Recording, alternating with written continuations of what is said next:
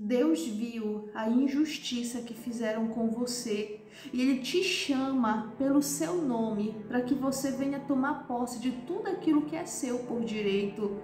Prepara o teu coração, porque esses dias serão dias de reviravolta na tua vida. Serão dias onde Deus vai te arrancar da terra da humilhação, da terra da vergonha, da terra do sofrimento e vai te colocar num lugar de honra, num lugar que Ele mesmo preparou para a tua vida. É tempo de reviravolta. Se você crê, toma posse, confirma nos comentários com teu amém.